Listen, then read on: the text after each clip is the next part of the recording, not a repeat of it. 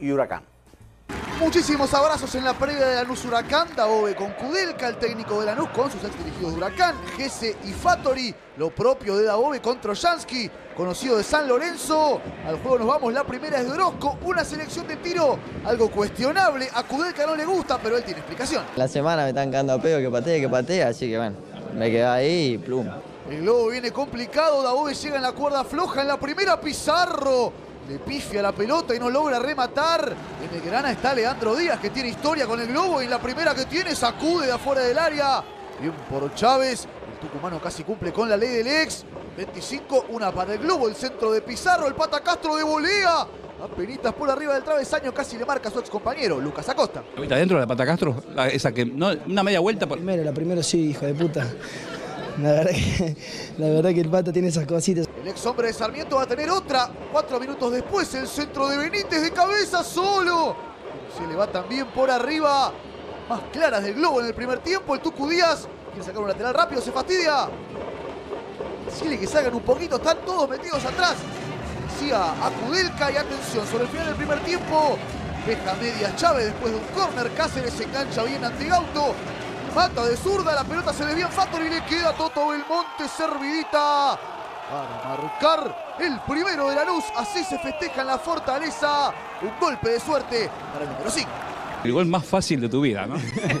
No, bueno, me quedó y bueno, la verdad que pude definir muy contento. ¿Pase de Cáceres o, o- o no? ¿Te, te dijo después qué pasa que te metí? No, no me dijo nada, pero no, el el arco me parece, lo rebota ahí y me queda la verdad que muy contento por el gol. Qué ojete, ¿no? Hijo de puta de todo. Justo le va a quedar ahí, pero bueno, bien, bien, bien. La hizo fácil, no era fácil. Lo hizo fácil. Lo hizo fácil, dice Lema. Lo cierto es que estaba perfectamente habilitado. El mediocampista del Granate antes de convertir. Y hubo dedicatoria. ¿El festejo que hiciste en el aire? Que debías hacer una, una- Y, se la daba ahí para mi novia. Hace mucho que quería meter un gol, eh, porque eh, como no estoy metiendo goles, estaba un poquito más atrás. eh, cuando le dije cuando meta un gol se lo iba a dedicar, así que Debías el festejo. le, le debía el festejo. El perrito de Grana se va contento al entretiempo con la ventaja por 1 a 0. Ya en la segunda etapa, 4 minutos, una para Huracán, la baja Castro en un córner, remata Tobio. No le sale muy fuerte el disparo, controla Acosta. Había alargado la lluvia en el sur, Lanús tenía otra, la baja de pecho Pepo de la Vega, media vuelta de Leandro Díaz de zurda, muy cerquita del palo derecho de Lucas Chávez.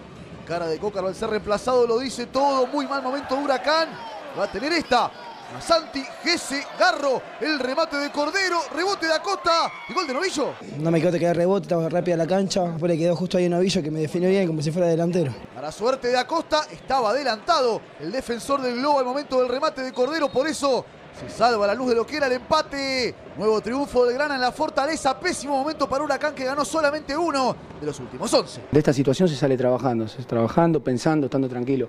Eh, entiendo que no, que no sea un momento que por ahí se viva de la misma forma eh, de afuera, es normal, es entendible, pero nosotros tenemos que, que- que hacer nuestro, nuestro trabajo para poder revertir esta situación. Retrocedemos un poquito para mostrar este detalle. A 4 del final, Pepo de la Vega controla, recupera Benítez, pide falta el 10, también Kudelka se vuelven locos, pero se venía la contra de Huracán. Eran 3 contra Lema, finalmente termina decidiendo mal Gauto, pero se quedaba muy caliente Cristian Lema con Pepo de la Vega, incluso después del pitazo final, se quedaban discutiendo por esa jugada que podría haber terminado en el empate del Globo. En paso a paso, lo explican. Lema me puteó un poquito, me la tuve que aguantar, recién me seguía diciendo no, porque vos, digo, ¿por qué querés que haga? Son situaciones que sabés que no te van a cobrar, tiene que ser vivo en eso. A lo último también le fui a decir, bueno, me sacó de vuelta cagando, pero eh, es full. Es full, y sí, es full. Es recontra full, hasta rompió el botín. Pero me- se vinieron tres contra mí solo, porque no te lo van a cobrar. No busco el full, no es que estoy esperando que me toque para tirarme. A veces te la cobran y a veces no. Hoy no la iban a cobrar. Si es el Pepe San, le van a cobrar el full. Si es el Pepo La Vega, no se le iban a cobrar.